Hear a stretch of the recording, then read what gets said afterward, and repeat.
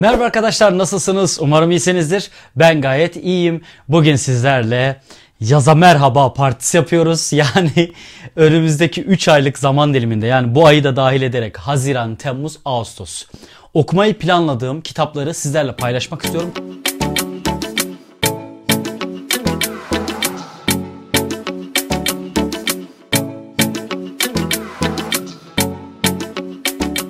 Tabii ki de bu paylaşımı yaparken bu 3 ay içerisinde okuyacağım tüm kitapları değil, 3 ayın içerisine yerleştireceğim önemli gördüğüm kitapları paylaşacağım. Ben listemi açıkçası normalde yaz aylarında biraz hafif tutmaya çalışıyorum ama bu saydığım kitaplar biraz o ayların ağır kitapları olacak. Elbette bunların yanına daha hafif kitaplar ekleyerek o ayları daha çekilebilir hale getirmeye çalışacağım.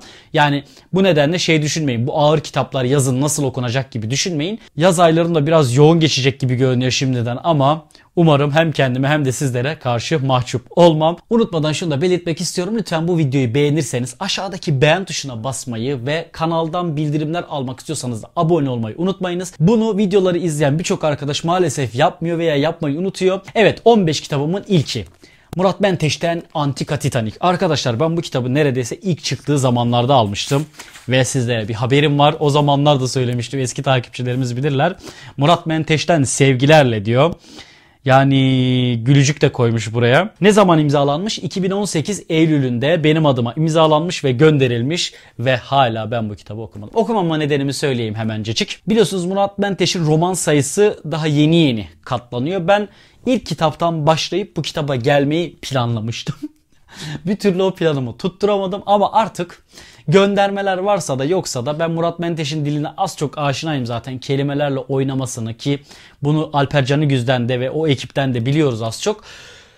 Burada da beğenerek okuyacağımı düşünüyorum ama bir sıralama yapmak istedim ama olacak gibi değil artık. Yani bu kitap çok fazla bekledi kitaplıkta. Kapağı çok hoş. Şu an aynı mı bilmiyorum. Son baskılarında ne duruma geldi bilmiyorum ama bende böyle şu şekilde hareket ettirdiğinizde çocukken o çok sevdiğimiz tasolardan falan çıkardı böyle 3 boyutlu tırtıklı görseller var ya kapağında o kullanılıyor. İşin ilginç yanı şu olacak benim için. Oğullar ve Rencide Ruhları daha geçtiğimiz ay okumuştum Alper Canıgüz'den. Burada da Murat Menteş felsefi bir polisiyeden bahsediyor. Tıpkı Alper Canıgüz'ün kitabında olduğu gibi bir zincir de olmuş olacak kendi adıma. Aynı zamanda bir komedisi de var kitabın yazarın iddiasına göre bu kitapta çok yoğun benzetmeler yapıldığını ve dille gereğinden fazla oynandığı şeklinde eleştiriler yapmışlardı. Biraz böyle belki de sonradan bekletmeme neden olan olaylardan biri oydu. Bilmiyorum. Bakalım. Okuduktan sonra zaten beraber değerlendiririz. İçeriye dair çok fazla bir şey bilmiyorum. İkinci kitabım Renklerden Moru. Bu kitap benim uzun zamandır listemde ki kendisi 1983 Pulitzer ödüllü bir roman. Kitabın bir diğer özelliği de Mart ayında okuma maraton grubumuzda Kadınlar Günü'ne özel bir işte farkındalık yaratmak adına bir liste oluşturmuştum, anket oluşturmuştum. Bu kitapta o listede vardı fakat başka kitaplar seçilmişti. O zamandan beri böyle mutlaka okuyacağım diye aklımdaydı bu kitap Renklerden Moru. Hatta kitabın bir filmi de var Spielberg tarafından çekilmiş. Ben o filmi de kitaptan sonra muhtemelen seyrederim. En sevdiğim şeylerden biri çünkü usta bir yönetmen, iyi bir kitap, Pulitzer ödüllü bir kitap. Şahane bir ikili olacağını düşünüyorum. Öngörüm bu şekilde. Renklerden Moru romanı kendi adıma yaz için yıkıcı bir roman olacak diye düşünüyorum ki ben bu kitabı aslında Eylül'den sonra böyle sonbahar dönemlerinde okurdum normalde. Çünkü biliyorsunuz mevsimlere göre de kitapların ruhuna uygun olsun diye okumalar yapıyorum çoğu zaman. Siyahi bir kadının yani bir çocuk gelin tecavüze uğramış ve hep dışlanmış bir kadının aslında öyküsü var burada. Özellikle kadın bakış açısıyla biraz daha olayları anlamak açısından benim için çok iyi bir eser olacağını düşünüyorum. 2008 Pulitzer ödüllü bir başka kitap var. Pulitzer'den gidiyoruz biraz da yaz aylarında. Oscar Wilde'un Tuhaf Kısa Yaşamı. Aslında benim çok ilgilendiğim roman tarzlarından biri gibi görünüyor.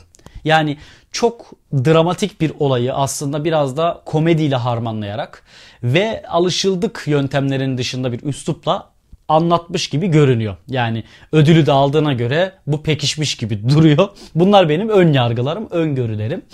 Umarım okuduktan sonra ben de severek bu kitabı sizlere tavsiye ederim ama kapağıyla beraber ve konusuyla beraber çok ilgimi çektiğini söyleyebilirim. Oscar Wilde kapakta da gördüğünüz gibi bir Superman kostümü var. Bakir ölmek istemeyen bir vatandaş.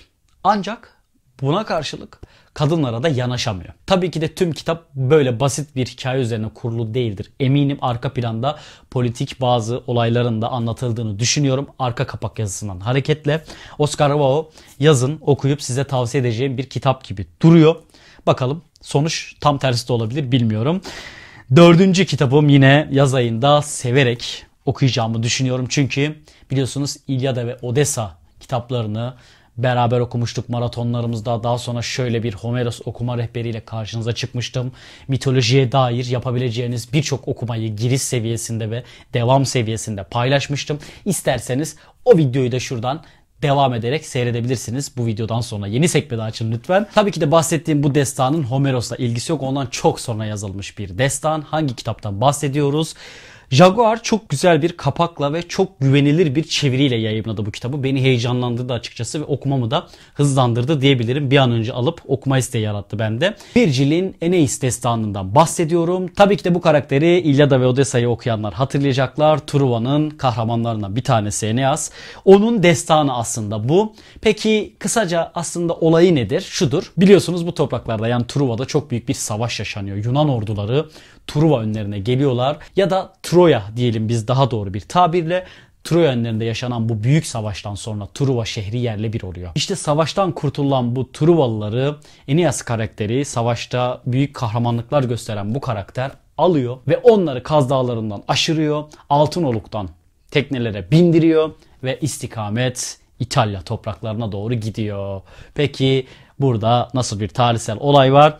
Aslında Virgil kökenlerini Truva'ya dayandırarak Roma İmparatorluğu'nun da kökenlerini bu büyük destana dayandırmış oluyor ve dünyaya tarihsel aşan bir gol atmış oluyor. İşte bazen şairlerin ve yazarların en iyi savaşçıdan, en iyi devlet adamından bile daha güçlü olduğunun en güzel kanıtlarından, en iyi kanıtlarından bir tanesi Virgil'in bu yapıtı. Yani çok merak ediyorum. Truva'ya dair İlyada ve Homeros'tan çok şey okudum, ettim, içtim, artık doydum. Bunun devamı niteliğinde Roma'ya uzanan bu kitabı yazın şöyle keyifle okuyacağımı düşünüyorum. Çünkü destan okumak artık ya İlle de Vodosa'dan sonra alışıyorsunuz. Başta insan bir korku. Yani o mitolojik dünyaya giremem. Çorba olur zihnim korkusu yaşıyor insan. Hiç okumayanlar muhtemelen şu an beni seyrederken, dinlerken bu hissi yaşıyorlar. O nedenle az önce bahsettiğim Homeros videosunu seyrederseniz bu bahsettiğim hisleri siz de yaşayabilirsiniz. Çünkü gerçekten uzaktan göründüğü gibi değil, akıp giden destanlardan bahsediyoruz ki tarih dolu ve kendisi zaten Virgil'in Latin dilinin en ünlü şair olarak gösteriliyor. Onların ozan olarak görülüyor. Homeros'tan sonra büyük ozanlar olarak görülüyor. Bakalım Afrodit'in oğlunun bu destanı Truva'dan Roma'ya nasıl ilerlemiş gitmiş okuyunca göreceğiz. Diğer kitabımız 5. kitaba gelmişiz. Orhan Pamuk'tan Veba Geceleri. Yani herhalde çıktığı ay alıp okuma hissiyle hemen siparişimi vermiştim. Geçtiğimiz ay yani çok yoğun okumalar yaptık başlamaya korktum. Çünkü okuyanlar çok sıkıldım ve akmadı bir türlü kitap yorumları yaptı. Tabii ben bu yorumlardan okumam asla diye etkilenip kitabı bir kenara bırakmam. Şu açıdan ertelemek istedim. O aylarda yoğun kitaplar okuyunca ki özellikle Doğu'yu keşfet maratonumuzun temposunda düşünürsek bir dahaki aya bir dahaki aya diye diye erteledim. Muhtemelen Haziran, Temmuz, Ağustos. Ağustos'a bırakmam ama belki bu ay bile başlayabilirim. Bu yaz aradan çıkacak. Veba Geceleri. Orhan Pamuk bu kitabını birçok yayında da takip ettiğim üzere 5 yıl gibi bir zaman diliminde kaleme aldığını ve içinde bulunduğumuz salgın dönemiyle beraber işin ilginç bir hal aldığını dile getirdi. Dedim ya mevsimlere göre kitap okumayı seviyorum. Kaldı ki böyle bir kitabı bu koronanın yoğun olduğu bir dönemde okumayı istemem gayet normal herhalde. Bu yaz bir de Stephen King'den Hayvan Mezarlığı'nı okuyacağım. Birçok kişi okumuştur. Fantastik türde kitaplar okuyan, genç yetişkin tarzı kitaplar okuyan birçok arkadaş zaten Stephen King'in kitaplarını öğütüyorlar. ben böyle ara ara tırtıklıyorum. Yazın güzel gideceğini düşünüyorum böyle gerilim korku filmi tadında. Bir de tabii bu kitabı alacağım zaman da söylemiştim. Kedilerle de bağlantısı olduğu için artık yavaş yavaş Hera'mızın da kedimizin de hayatımıza karışmasıyla beraber böyle bir manyaklık yapayım istedim yazın. Güzel gideceğini düşünüyorum. Mehmet Uzun'dan Kader Kuyusu var. Yazın okuma listemde bir diğer kitabımız. Sayılarını unuttum artık. 15'e tamamlanacak merak etmeyin. Mehmet Uzun'un bu romanını CNR Expo Mersin kitap fuarından almıştı. Oradaki öğretmen arkadaşlarla da çok güzel sohbetler etmiştik falan. Bir türlü okuyamadım. Yani 3 4 yıl olmamıştı da 3 yıl en az oldu herhalde. Bu yaz artık okumak istiyorum Mehmet Uzun'un bu romanını. Diğer kitabım çok dişli bir kitap. Ödülleri topladı, sildi, süpürdü ve işin üzücü yanı ben bu kitabı yayımlandığı günden itibaren çok merak ediyorum ve bir an önce okumak istiyorum. Olmadı. Sıra gelmedi maalesef. Ve o süreçte de ne ödüller aldı, neler yaptı. Kitap yayın evi değiştirdi. Ödüllerin de etkisiyle Yapı Kredi yayınlarına geçti yanlış hatırlamıyorsam en son. ikisi çıktı. Üçü çıkacak. Yani Faruk Duman'dan Sus Barbatus epey kalın bir roman. Ya aslında okuyamama hikayelerinden biri de bu biliyor musunuz? Sus Barbatus'u her ay gidip alıyorum raftan neyse neyse deyip geri koyuyorum. Hani artık moda oldu ya Sedat Peker videolarında 40 yaş altındaki kardeşlerime sesleniyorum diye. Benim de böyle yoğun okuma dönemlerinde 500 sayfanın altındaki kitaplarıma sesleniyorum diye böyle rafın karşısına geçip bakıyorum 400-500 sayfası sonra sonra okurum diyerek. Ya Tabi çok sayfalı romanlar akıcıysa çok hızlı da okunabiliyor ama Sus Barbatus çok dolu bir roman. Bunu hissediyorum. Aldığı ödüllerle bunu da kanıtladı aslında bence. Cevdet Kudret Edebiyat Ödülünü aldı. Orhan Kemal Roman Armağanını aldı. Sildi süpürdü. ikisi çıktı. Ben hala birini okuyacağım. Sus Barbatus okuyup da pişman olan görmedim. Çok sevildi. Diğer kitabım yine alışveriş videolarımda bir ara paylaşmıştım sizlerle. Bir an önce okumak istiyorum demiştim. Ve bunu yanlış hatırlamıyorsam Amazon'un çılgın indiriminde almıştım. O videoda şurada şöyle dursun. Benim geç kaldığım romanlardan biri maalesef. Yine bir sürü neden sayabiliriz. Saymaya gerek yok. Zorba işte bu yaz artık okumayı düşünüyorum. Zorba'da ben şunu hissediyorum. Hani arka kapak yazısı, adı, işte yapılan bazı yorumlar. Hani o sizde bir his yaratıyor okumasanız dahi. Böyle bir aylak adam, böyle bir yabancı, böyle bir işte Oğuz Atay tadı. O hissi alıyorum böyle hani anlaşılamamış aydın bir kişi. Onun karşısına çıkan bir tip. ikisinin çatışması ve ortaya çıkan farklı konular. İşte anlaşılamama duygusu, yalnızlık, toplumdan uzaklaşma birçok şey olacağını hissediyorum. Yani tamamen şu an yaptığım yorumlar okumadan söylediğim şeyler. Bunu göz önünde bulundurun. Okuduktan sonra da nasıl değişecek bakacağız. Evet. Şimdi 3 kitap arka arkaya göstereceğim arkadaşlar. Bu 15 kitabın 3'ü Haziran, Temmuz, Ağustos şeklinde her aya bir tanesi gelecek. Binbir Gece Masallarının Yapı Kredi'den birinci cildini okumuştum hatırlarsanız. Haziran ayında zaten başladım devam ediyorum. Ara ara böyle parça parça ay sonuna kadar bitireceğim. Birinci cildin ikinci kitabı. Haziran ayında okunacak. İkinci cildin birinci kitabı kısmetse Temmuz ayında okunacak. Bir aksilik olmazsa umarım.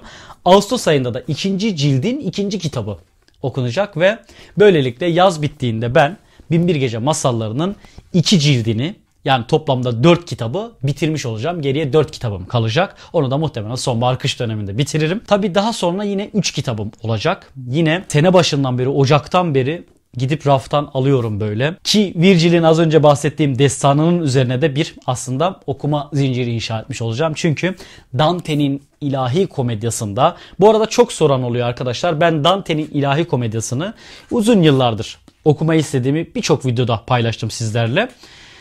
Bu araştırmalar sonucunda yani incelemeler sonucunda kitap evlerinde de şöyle bir ilk sayfaları okuyarak falan Oğlak yayınlarının şu basımlarına kutulu 3 cilt halinde çok güzel bir basım yapmışlar. Bu basımlarına güveniyorum. Bitirdikten sonra daha net bir yayın evi tavsiyesi verebilirim ama Oğlak'tan okuyacağım. Her ay bir tane. Cehennem Haziran ayında, Araf Temmuz ayında ve Cennet Ağustos ayında. Dayanamazsam üçünü bir ayda da okuyabilirim bilmiyorum ama yazın okunacağı kesin yani sonuçta. Bu şekilde Dante'nin ilahi komedyasını da yazın okumuş olmak istiyorum artık. Seneye arkama Dante'yi de alarak başlamak istiyorum. Yani kış döneminden sonrasını kastediyorum güzel bir yaz olacağını hissediyorum şimdiden. Umarım o enerji size de geçmiştir. Yerinizden kalkın, silkinin, okuma tembelliğinizi atın. Kendinize şöyle bir 15 kitaplık en az bir okuma listesi hazırlayın. Listenizde bu kitaplardan bazılarına da yer verirseniz beraber aylık okumalarda, yorumlarda buluşmuş oluruz. Siz de lütfen okuma listenizdeki farklı kitapları bizlerle paylaşın. Okuduklarınız varsa kitaplara dair tat kaçıran vermeden yorumlarınızı bekliyorum. Kendinize çok iyi bakın. Mus mutlu bir yaz geçsin. Hepimiz için bol kitaplı bir yaz geçsin. Kitaplar biraz ağır gibi görünüyor olabilir. Merak etmeyin siz. Ben onların yanına hafif tuğlalar döşeyeceğim böyle. Binayı çok güzel bir şekilde inşa etmeye çalışacağım. Hepinize iyi kitap kutlamalar diliyorum. Görüşmek üzere arkadaşlar.